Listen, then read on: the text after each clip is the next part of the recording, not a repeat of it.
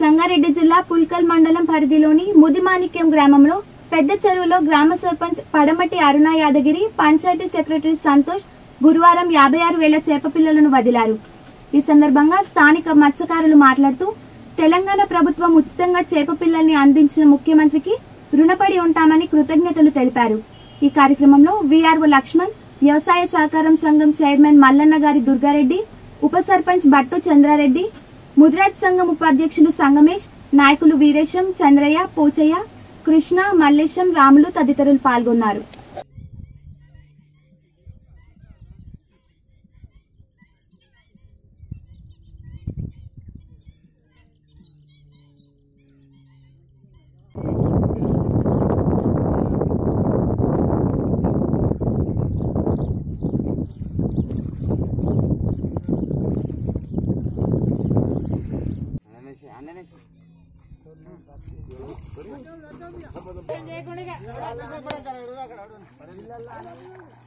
మీరు ఫోటో తీసుకోండి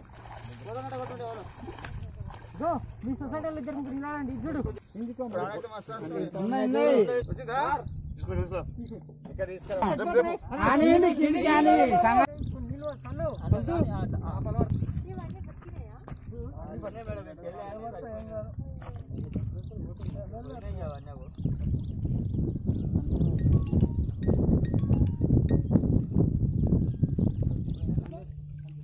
చెప్పనా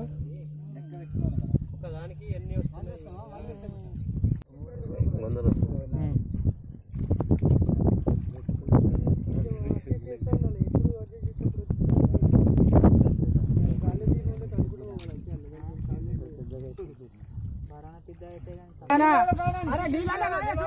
అట్లా ఏడ రైట్ ఏమన్నా దప్